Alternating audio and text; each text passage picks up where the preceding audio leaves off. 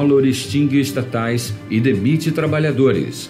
O Sindipetro RJ participa ativamente da luta pela reintegração dos demitidos e da campanha Fora Collor.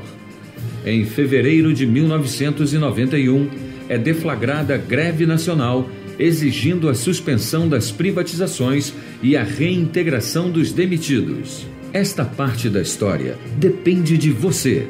Participe.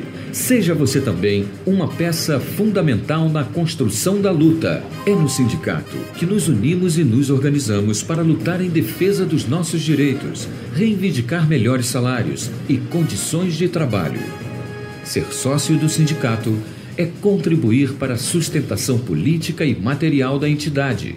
É apoiar a organização independente dos trabalhadores é contribuir na luta pela construção de uma sociedade mais justa. Sindicalize-se. Se você já é sindicalizado ou sindicalizada, repasse esta informação para um companheiro ou companheira e fale sobre a importância da sindicalização. Sindipetro RJ, lutando pela soberania nacional. Rádio Petroleira, a voz do Sindipetro RJ, apresenta Programa Setor Privado Mobilizado. Você deve rezar pelo bem do patrão, esquecer que está desempregado. Você merece, você merece. Olá, internautas, navegantes, companheiros, camaradas da Rádio Petroleira, questão de soberania. Estamos ao vivo, em tempo real, com mais um programa Setor privado mobilizado. Aqui na Rádio Petroleira, programa que é de responsabilidade da Secretaria do Setor das Empresas Privadas do Sindipetro RJ, cujo coordenador é nosso amigo e irmão, professor Ivan Luiz, o homem que sabe o que diz. Mas sonha que passa, ou toma cachaça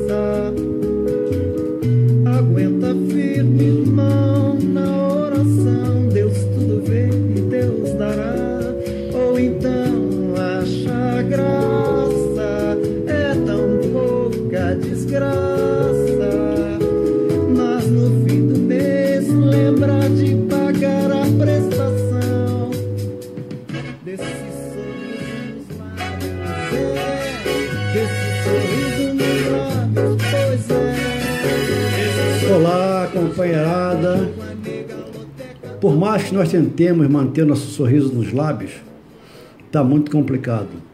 E essa música, ela vem logo em seguida da abertura do programa, porque dia 22 de setembro faria assim 72 anos o nosso patrono do programa. Nosso patrono é nada mais, nada menos do que Luiz Gonzaga Júnior, né? conhecido como Gonzaguinha. Essa foi a razão de nós é, é, abrirmos o programa hoje, prestigiando e lembrando esse grande compositor, esse grande revolucionário que foi Gonzaguinha. Então, companheirada, nós estamos agora realizando o programa 266, que abrange o intervalo de 20 de setembro até o dia de hoje, que é dia 26 de nove de 2017. E é a nossa semana, né? Essa secretaria da essa secretaria, esse programa, na realidade, que hoje compõe de várias secretarias, que a Rosa vai nos abrilhantar com a sua voz, seguindo aqui o fluxo natural, que é o fluxo da esquerda. E é o nosso programa, então, Furtado, número 39. É, Esse é o nosso 39 do ano. Rosa, então, suas considerações iniciais. Olá, ouvintes, boa noite a todos. Um prazer estar aqui com vocês novamente. É, não, eu estava querendo lembrar que essa nova diretoria do Sindipetro RJ, né, ela tomou posse no dia 1 de junho, é, então uma diretoria, né, a gente pode considerar recente, eles estão ainda né, tomando conhecimento do, do, sindicato. A gente tem os diretores que já, já vinham compondo a diretoria anterior, mas mudou né, esse direcionamento né, do sindicato, do, do que, que o sindicato quer, do que, que a categoria que os elegeu né, escolheu. Então, assim, eles se dividiram em núcleos, né, e esse programa, ele é desse núcleo, né, formado por esse núcleo 5, né? E ele é composto por essas secretarias, que são é a Secretaria das Empresas Privadas, a Secretaria das Empresas Terceirizadas, tem também a Secretaria de Plataformas e a Secretaria Petroquímica. Os diretores que compõem esse núcleo é o Antônio Furtado, que está aqui conosco, né, que é de Manguinhos, o Breyer Grudica, que é do Ventura, Hugo Queiroz, que também é do Ventura, o Ivan Luiz, que é do Edicim, que também está aqui conosco, né, mentor aqui do programa, e o Tiago Macedo, do Ventura. Então, assim, esse programa, quando a gente fala assim, né, a gente sempre noticiou dizendo que era um programa do setor privado, da secretaria e tudo mais, porque era como esse, essa diretoria do sindicato, né, a, a, a última diretoria, fazia a composição dividida em secretarias. Essa nova diretoria, ela trouxe essa gestão né, que a gente pode dizer que é uma, uma, uma gestão é, horizontal, porque justamente ela não tem aquela coisa de ter um mandando, um grupo que manda, um grupo, só um grupozinho ali de cinco, três, quatro pessoas, né, quando a gente tem essa gestão de presidência, e vide aí o governo Temer, né, que aí é o presidente, ele pode mandar, desmandar, fazer bem o que entende, sempre ali seguido por aquele grupo. Então, assim, essa nova diretoria decidiu é, formar né, essa gestão de uma nova forma, né, de um novo jeito de gerir o sindicato, o Sindipetro. E aí nós estamos, então, é, aqui com esses dois diretores, que é o Antônio Furtado e o Ivan Luiz, que comandam aqui, né, pra, a gente pode dizer que comandam, porque são sempre os diretores que estão mais aqui conosco e são do Núcleo 5. Não é isso, Furtado? É isso aí, companheira Roda, né? Boa noite aos companheiros, não só o companheiro Roda, como o companheiro Ivan, o nosso DJ. Antigamente era sonoplasta, né? Agora DJ vai mudando tudo. E essa composição que a companheira Roda está falando é uma reestrutura, ou então uma reestruturação do nosso sindicato no que diz respeito à composição dos diretores, né? É, e como é uma coisa nova, normalmente é, é, tudo que é novo sempre tem uma reação, né? Evidentemente que ainda está em estudo, né? E para que a gente é, consiga funcionar. Temos algumas é, evidentemente, temos algumas é, dificuldades, até, até porque é, viemos de uma outra cultura, né? aquela cultura de, de, de participar de, de é, da direção no que diz respeito à sua composição. Então, neste momento, é importante isso aí, né, companheiro Ivan, à medida que é, essa dificuldade será paulatina, e com certeza é, vai, se, vai se melhorar, e até porque um fato novo agora, que é uma coisa que é, estava se muito questionando, é o nosso regimento interno. Né? Nosso regimento interno hoje é uma realidade, né? evidentemente que, vai, que também sofreu, na sua composição, sofreu algumas modificações, mas essas modificações provavelmente vêm para, ser, para ele ser melhor gerenciado e ser melhor utilizado. Né? E a gente espera aí que no decorrer do tempo a gente aprimore cada vez mais o nosso regimento interno. Companheiro Ivan. É isso, esse é o grande objetivo nosso. Essa semana também, no dia 20, teve um fato muito relevante que a Associação Brasileira de Imprensa e a Casa da América Latina é, é, nos convidou para uma solenidade em que foi lembrado os 50 anos do assassinato pela CIA a Che Guevara. E nesse ato esteve presente o filho mais novo dele, que é o Ernesto Guevara Marques.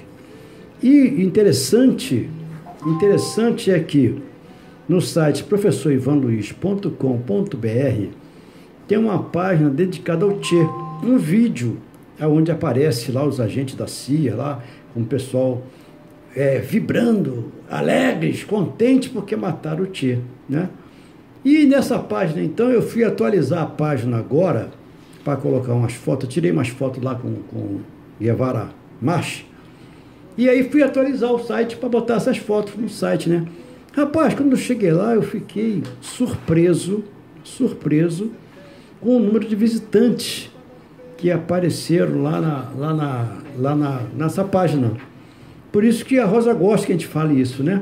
E eu acho que é importante divulgar sim, porque nessa página, lá no site, é, é tem a visita de 65 países diferentes, rapaz. Eu estou falando de alguns países, né, Rosa? Você tem aí? Sim. Né? Alguns é, eu acho, acho importante a gente estar tá falando dessas questões ligadas à internet, porque eu penso né, nessa questão de comunicação, que é a minha formação de jornalismo, a gente está sempre com um olhar um pouquinho mais apurado para essas questões de comunicação na internet do que o, em geral, né, as outras pessoas em geral, porque a gente justamente estuda essa questão da comunicação ali por esse veículo internet.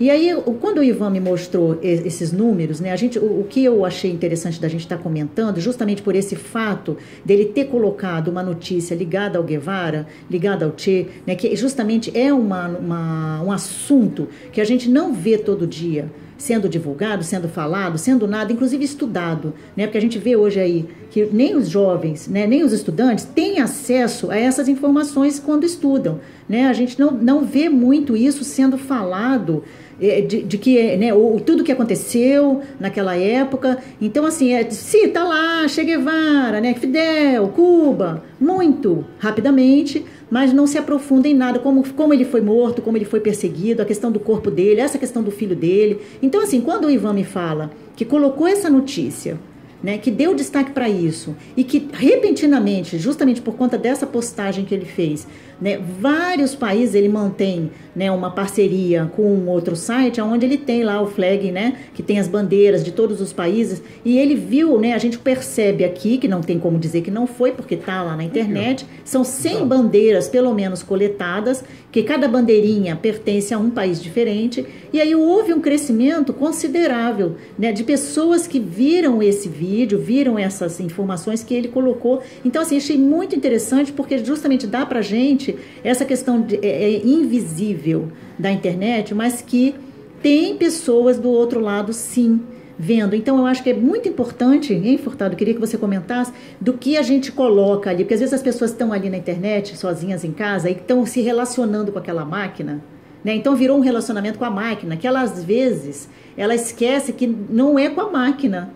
São milhões de pessoas que estão ali também com ela. Isso não quer dizer, claro, que ela esteja com companhia, né? Tem toda essa discussão também. Mas que as pessoas se atentem mais para o que colocam ali. Opiniões, né? Às vezes alguma coisa até que você deveria estar tá pensando mais para estar tá colocando ali uma opinião, né? Uma, uma notícia que você não tem certeza se é verdadeira. Você não Encontrou com o né? vizinho, né? aí o vizinho falou, olha, não sei o que, aí você vai lá e escreve, ah, não sei o que hoje. Quer dizer, né, prestar mais atenção nessa, nesse veículo de comunicação, porque é um veículo muito sério e muito importante que eu acho que a gente, o brasileiro principalmente, deveria estar usando nesse momento para realmente fazer uma luta mais séria sobre o que a gente está precisando e usar a internet nesse sentido, como inclusive a gente já usou em outras épocas, né, Furtado? Furtado, quais foram os países? Depois que você comentar, é, você pode dizer quais são os países? Não, é, olha só, é, companheiro Ivan, é interessante isso aqui, né? À medida que é, como muito bem falou a companheira Rosa, é uma arma, e é uma arma muito, muito forte. Né? Talvez seja até, seja até, mais, até mais forte do que a bomba de hidrogênio que o, o cidadão lá está querendo jogar aí no mundo. Né? E quando a gente fala isso aí, que é um problema cultural, e é importante à medida que, né, companheiro Ivan, você faz uma pesquisa, e o companheiro Ivan é uma pessoa muito voltada para esse tipo de segmentos. A própria companheira Roda, como ela muito bem falou, né? Até por necessidade de trabalho, é preciso que tenha esse conhecimento e a grandeza de, de, desse tipo de situação.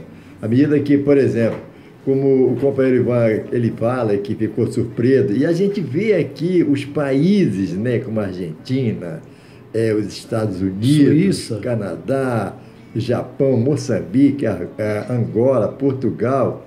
Então, tudo isso ficaram, Itália, Itália Reino Unido, ficaram, França. É, ficaram conectados numa situação que aparentemente foi assim, é, uma coisa até banal, né, companheiro? Banal, que na realidade trouxe uma determinada, é, uma determinada situação de informação para aquele quem estava acessando a internet. É importante isso aí e é uma coisa que chama bastante a atenção da gente, à medida que o próprio trabalhador, o próprio trabalhador, nessas reformas que estão acontecendo, ele pode fazer essa pesquisa, porque está tudo lá para que ele entenda é, o que vai acontecer na sua vida. Né? Não, não, não, não só em termos de, dessa cultura ampla, mas sim nessa cultura da, do próprio trabalhador no que diz respeito aos seus direitos. Companheiro Ivan. É, mas acho legal de falar aqui, ó. Estados Unidos, Portugal, Angola, Moçambique, Japão, Cabo Verde, Canadá, França, Reino Unido, né? outro país aqui não identificado, Itália, Suíça, Argentina. Quer dizer, então, quando você fala dessa, dessa importância, Fortado, tem que lembrar que hoje, hoje foi publicado o decreto que derrubou o decreto anterior que criava o RENCA. Você lembra aquela reserva? Isso, isso, que né? mão, Nacional do Cobre e isso, tal. É. Você lembra dessa reserva?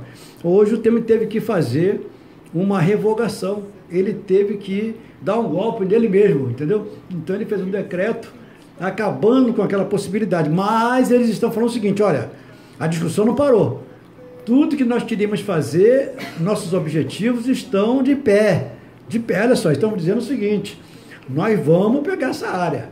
Não pegamos agora, mas vamos pegar depois, entendeu? É, eles é aquela, estão, é, estão alertando. É, é, aquela famosa palavra, mas. É, então Renca caiu aquela, aquela intenção inicial, mas eles estão de olho.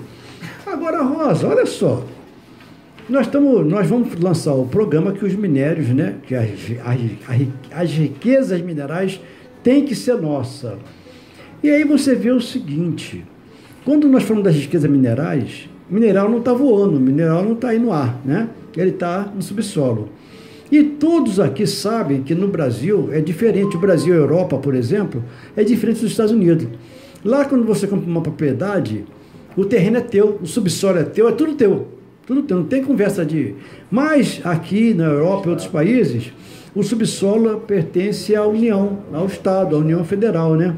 É soberania, né? É, então os recursos minerais eles estão, eles estão sendo o, eles estão sendo desviados em detrimento do interesse nacional. Nós podemos afirmar isso, porque várias fontes na internet estão divulgando.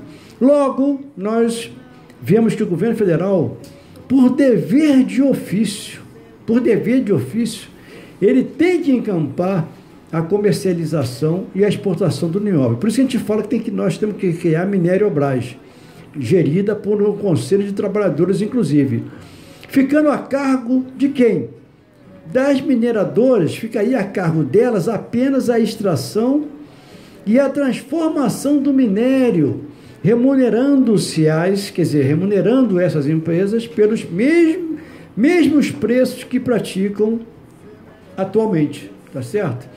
É, outra coisa também, e nós precisamos ter mão forte nisso aí e coordenar, por exemplo, as exportações de nióbios, porque nós hoje sabemos que existe uma, uma, uma roubalheira, na realidade, com relação à, à administração federal é, é, referente a esse produto, a esse mineral, que ele pode alavancar as exportações brasileiras para os Estados Unidos, para o Japão e para outros países por aí.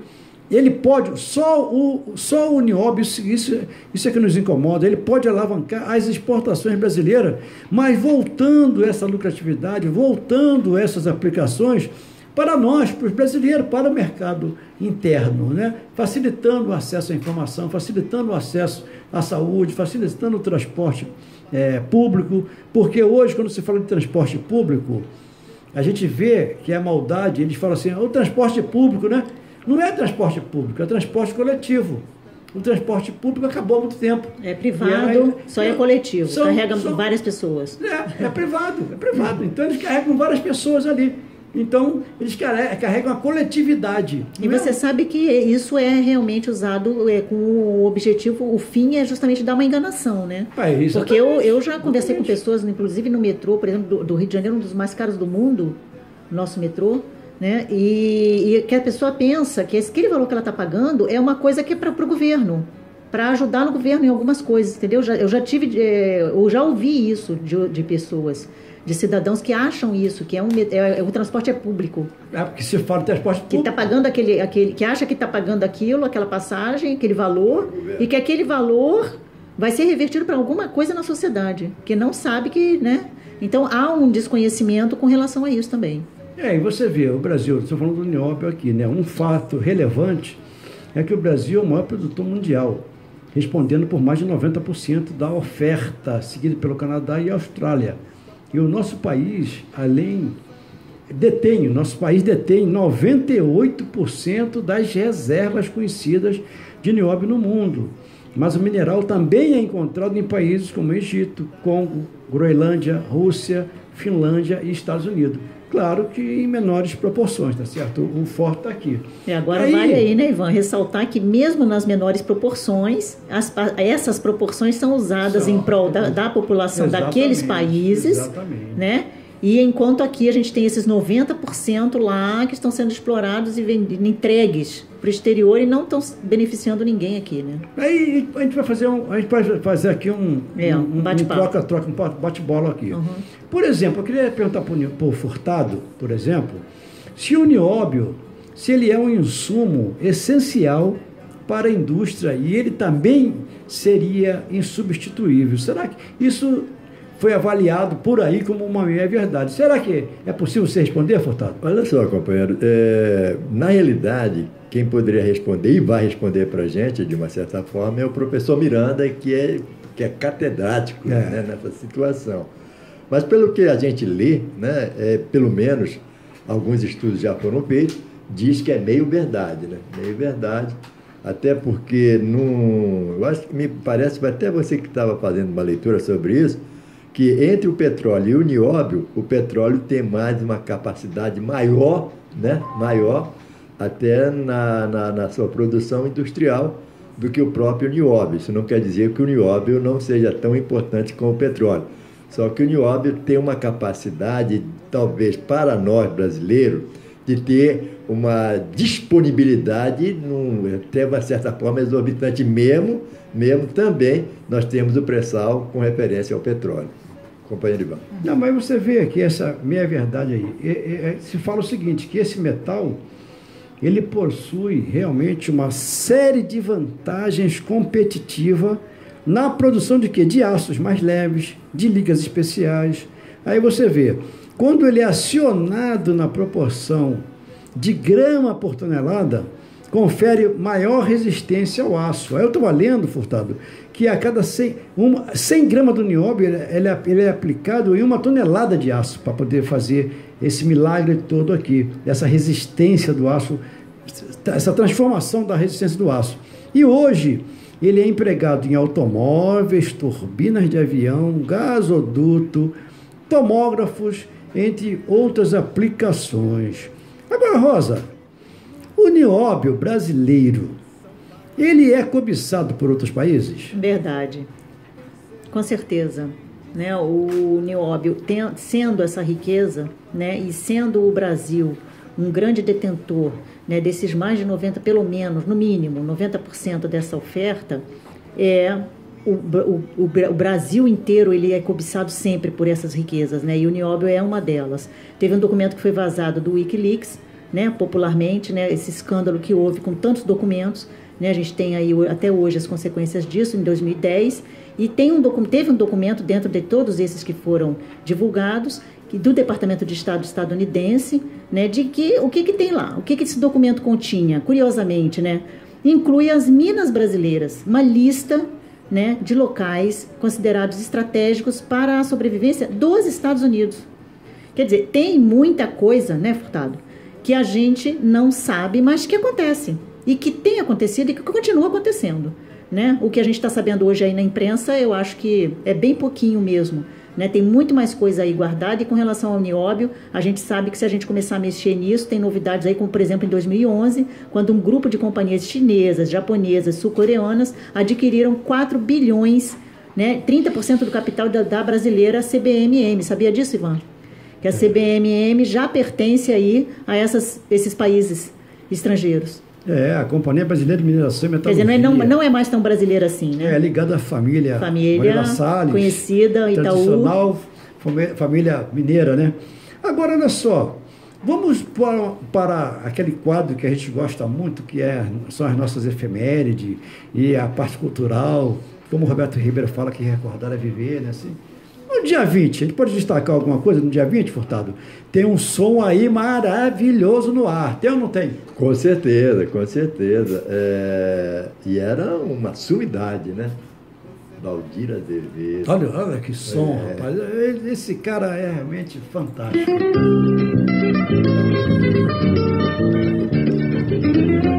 Viva DJ, é? Viva DJ. DJ Jaime. Agora, companheiro Ivan, você, a gente sempre faz esse questionamento e você sempre nos pergunta, não só a mim, como a, a própria companheira Rosa, quando aqui participa do nosso programa, é, o que aconteceu na realidade em 61, no dia 20? Rapaz, teve uma greve séria, hein? Uma greve geral que nós estamos tentando reproduzir agora de novo, né? Uma greve nacional de 30 mil bancários. E nessa greve aí, eles conseguiram arrancar nada mais, nada menos que 40% de aumento. E nós temos que provar para esse desgoverno que está aí que nós vamos parar esse país, tá certo? Vamos parar com certeza. Vamos lutar contra o próximo leilão de petróleo também e nós estamos acordados, não estamos de pé. Mas no dia 21 a Rosa pode falar com a gente alguma coisa. Sabe por quê, Rosa? Nós chamamos os trabalhadores da Central Resource para vir aqui fazer um. Porque tem uma, tem uma, uma, uma proposta aí, e nós queríamos que os trabalhadores discutissem conosco sobre essa questão. Mas, infelizmente, nós queremos acreditar que, por razões relevantes, Relevante. não foi possível o comparecimento deles. Mas, de qualquer maneira, Rosa, eu falei dia 21 para você, mas, no dia, mas a Beth Escaciota é amiga minha de longas datas, gosta muito de cantar, gente boa, gente de alto astral. E agora está morando lá em Cabo Frio. Então, Beth, vai aí um abraço da Rádio Petroleira, da TV Petroleira, do sindicato, da federação. Vai um grande abraço. E aí eu passo então para a Rosa no dia 22, certo, Rosa? Tá certo. É, o dia 22 é uma honra, né? Tem que, tem que falar novamente, não tem como deixar passar. Os 72 anos do Gonzaguinha, É, né? Realmente talentosíssimo, né? Teve vários percalços com o próprio pai também talentoso, mas que ele tinha, o Gonzaguinha, uma personalidade, uma pessoa incrível e construiu toda a carreira dele de, da forma como ele queria, do jeito que ele achou que tinha, que tinha que ser. E só sucesso, né? Só sucesso. Só sucessos. Uma pessoa, assim, realmente incrível. E 1920, né, no, mesmo, no mesmo dia 22 de setembro, a Federação dos Trabalhadores do Rio, ela inicia a publicação do jornal Voz do Povo, que vai circular durante todo o ano de 1920, maravilhoso também. Maravilhoso. Né? Voz do Povo, que a gente inclusive precisava ter uma voz dessa novamente. É verdade. Né? Mas o falta, Furtado, faz falta. Furtado tem um destaque aí no dia 22, não tem, Furtado? Além, além de nosso querido Gonzaguinha, nós também temos um músico de, de primeira grandeza, né? Vamos escutar um pedacinho aí. Tem, pô, Dilermano. não é mole não, de Lermano Reis, eu te Dilermano contar, Reis. Isso aí é o som do carrilhão, não é não? Não? Não, não. Essa valsa bonita. 101 anos. merece muita consideração, né? Tem que parar um pouco para Verdade, verdade. Mas dia 23, então, Rosa, em 1919, acontecia algo significativo em São Paulo. Verdade? 19, é essa época, né, muita coisa, era o jornal, né, eram a greves e muito movimento aí da classe operária, greve nas cidades paulistas de São Bernardo, São, São Caetano, Santo André, Campinas e Sorocaba. Em 1919, hein, É. a paralisação foi em solidariedade aos trabalhadores da Light de São Paulo, que lutavam por melhores salários de dezenas de categorias. Quer dizer, além de, né, né? além de ser uma coisa assim que né, quatro cidades, cinco cidades envolvidas no interior paulista, ainda foi uma greve em solidariedade a uma outra categoria. É tá Incrível isso, faltando, né? né? Realmente merece ser aí chamada e dita aqui no programa de hoje. É, 1988 foi o ano que nasceu minha filha. Furtado, tem algum destaque aí, Olha, tem, 1988? tem sim. Inclusive é um destaque super interessante, né? Em 1988 é lançado o livro 1968, O Ano que Não Terminou, de Zuenir Até Ventura, hoje. reconstitui os acontecimentos de 68 no país e mostra os heróis dessa geração que queriam virar o mundo pelo avesso. Seus dramas, suas paixões, suas lutas e suas vitórias. Que ano, hein? Interessante. É um 68, livro hein? atual para Que ano, sempre, né? Muito atual, né? E também tem o quê? Tem um destaque importante que foi o Heitor Albino Pinheiro também. Em todos os prazeres, rapaz. Aí, rapaz, de grande Heitor do Prazer. Vamos ter que correr. O meu amigo pessoal, Reisilan Cartola Neto. Inclusive, Rosa, o Reisilan tem um disco aqui conosco. Pode deixar, pode deixar. Tem um disco dele conosco aqui, que estamos na programação. maravilha. Nem sei se está ainda na programação. Disco do Maravilha. Reisilan. Reisilan Cartola Neto, vai aí, nosso grande abraço da Rádio Petroleira e queremos te convidar para o nosso showmício. Que Convidado. vai acontecer dia 3 de outubro, Reisilan. Queremos Todos contar convidados. contigo, hein? É isso. 1991, Rosa, correndo que já Na Bolsa já... de Valores do Rio de Janeiro, sob fortes protestos que deixam 70 feridos e 13 presos, é privatizada a Uzi Minas, grande empresa siderúrgica mineira criada em 1956. Terrível. 24, dia 24, Furtado, Dia 68. 24 de 68 é metralhada, é metralhada por integrantes da direita, jamais identificada a casa de Dom Helder Câmara, é, no Recife. O bispo era um dos portas-estandarte da oposição à ditadura dentro da hierarquia da Igreja Católica. Fizemos um grande destaque por Roquete Pinto, faria 133 anos, mas não vai dar tempo mais, né? E também em 75, no dia 25, morria no Goicode, em São Paulo, sob tortura, o jornalista de TV Cultura, da, da TV Cultura, Vladimir Resorg, né? Triste isso. 2017, então, teve esse grande ato na OAB, onde foi abordado com muita profundidade, né, Rosa? Sim. A questão do equacionamento da Petro. Sim. A gente não vai dar tempo de comentar agora, né? Ontem, maravilhosa palestra. A gente vai ter que dar um tempinho aí É. a mais para o programa de hoje, que está um espetáculo isso aqui. A gente tem que falar sim. E essa, essa questão da Petros tem que ser atenta e tanto na, e na- ativos quanto aposentados e pensionistas. Urgente. Ficar É um- ligado nisso. É um ataque à classe trabalhadora ativa, aposentada, Petrobras tem que arcar com as dívidas dela com a Petros e não os trabalhadores. Ela deve, nega e não quer pagar enquanto puder. E mas, os não- trabalhadores não vão pagar também. Se alguém Também vai não. pagar, a gente não É sabe. verdade, mas os verdade. petroleiros não vão pagar E dívida. parabenizar você, parabenizar o Candal, parabenizar o Furtado, parabenizar o Jaime, porque dia 25 foi o dia da radiodifusão, dia do rádio. É isso dia aí. do radialista. né? Parabéns para a Rádio Petroleira. E está lá o destaque registrado no ar para a Rosa e para o Candal. Aí, um beijo? Candal. Valeu. Dia 26, hoje, então, em 1919, aconteceu o quê, Furtado? Para terminar o Ma- programa. é, mais, de 100, e mais de 100 líderes operários de São Paulo, Rio de Janeiro, Niterói, São Bernardo e Santos são expulsos do país como perigosos agitadores. Líderes operários. Líderes São perigosos- aqueles, aqueles lá de agitadores. 19, que É. eram solidários, É entendeu? verdade. Faziam Hum. greve por conta dos outros, imagina, tinha- tem que É ter verdade, não é pode ser solidário, não. é um. Então, vamos mandar um abraço para a família do Baden Powell, né? Baden Powell, tem que mandar. Esse violão é maravilhoso, maravilhoso, realmente. Então, tem que dar esse grande abraço. E em seguida, então, nós vamos dar um grande abraço também para Gal Costa, nossa baianinha da Tropicália, né? Que está vendo até um show hoje aí, em homenagem à Tropicália. Isso aí é fundamental. É, tá tendo uma no CCBB, né? Esse disco aí é o Gal Fatal. Esse disco tem grandes recordações desse LP. LP. Tropicália tá com tudo aí, tem vários eventos. E hoje, parabenizar os nossos amigos surdos, né, também, que hoje é dia do surdo. E tem muita mais coisa, tem É dia da sociedade se alertar para esse problema, né? E, que a gente falar. tem que sempre falar dessa questão, né, da- dessas pessoas que têm, né, que são tem que ter uma atenção especial da sociedade e que elas são muitas vezes esquecidas, né? É, Como- e eu botei links também lá no, lá no programa, no programa Professor Ivan, no site professorivanluiz.com.br, a Rádio Petroleira, botei links lá que está abordando o equacionamento da Petros na OAB, né? Uhum. E isso aí tem que ser muito bem estudado, tá certo? E Tá certo. eu já, agora, nossas considerações finais e, né?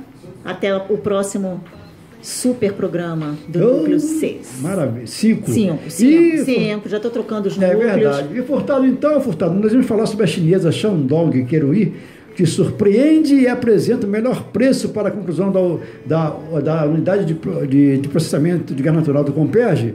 Mas nós vamos aprofundar um pouquinho mais isso aí, porque essa informação está nos assustando. Tá, não está cheirando bem essa informação. Esse gás aqui não está bem cheiroso, não. No próximo programa, então, a gente vai falar sobre e, isso. É, e na terça-feira que vem nós voltaremos, Com se certeza. tiver a permissão de quem, Furtado? É, mas antes de dar uma, uma lembrança para o nosso o- ouvinte, que provavelmente deve estar reclamando, que é o companheiro Bernardo. E na próxima terça-feira, assim, se assim permitir, o grande arquiteto do universo. Sendo assim, estamos chegando ao final de mais um programa Setor Privado Mobilizado. aqui na Rádio Petroleira, questão de soberania, Sonato Candal. Estaremos de volta na próxima terça-feira, a partir das 19 horas e 30 minutos. Aqui, música, informação e prestação de serviços. Muito obrigado pela sua audiência e até o próximo programa. Até lá! Rádio Petroleira, a voz do Sindipetro RJ. Apresentou o programa Setor Privado Mobilizado. Você deve rezar pelo bem do patrão, esquecer que está desempregado. Você merece, você